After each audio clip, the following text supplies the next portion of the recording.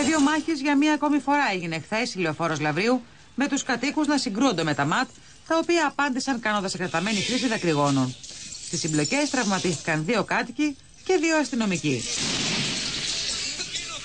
Αν και η κυβέρνηση παραμένει ανυποχώρητη στη δημιουργία χιτά στην Κερατέα, μετά και την απόφαση του Συμβουλίου της Επικρατείας που απέρριψε την προσφυγή των κατοίκων, εν προχώρησε σε μια κίνηση καλής θέλησης, προτείνοντας την έναρξη διαλόγου, προκειμένου να αποκλιμακωθεί η ένταση.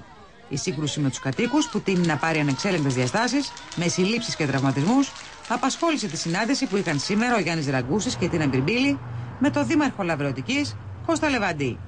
Οι δύο υπουργοί ζήτησαν από τον Δήμαρχο να βοηθήσει ώστε να εκτονωθεί η κατάσταση, ξεκαθαρίζοντας ότι διάλογος μπορεί να γίνει μόνο μέσα στα πλαίσια του υφιστάμενου χωροταξικού σχεδιασμού. Για τον Δήμαρχο Λαβρεωτικής, το πρώτο μέσο εκτόνωσης της κρίσης είναι η άμεση απομάκρυνση των ΜΑΤ από την περιοχή. Να δοθεί προτεραιότητα στην αποκλιμάκωση της έντασης. Για το σκοπό αυτό και οι δύο πλευρές, τις επόμενες μέρες θα αναζητήσουμε ε, τον τρόπο που θα το πετύχουμε έτσι. Mm-hmm. Επομένως θέλω να υπογραμμίσω ότι η αποχώρηση των αστυνομικών δυνάμεων από την Κερατέα είναι ζήτημα επίγον και καθοριστική σημασίας.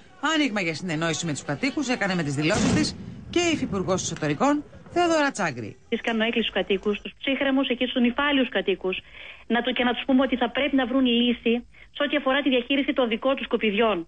Δεν πρέπει να εξαρτούνται μια ζωή από όμορες περιοχές. Σήμερα το κατόφλι των ανακριτικού γραφείου πέρασε ο πρώην Δήμαρχος Κερατέας Σταύρος Ιατρού, ο οποίος κατηγορείται για συνέργεια σε εκρήξεις και κατοχή εκρηκτικών υλών.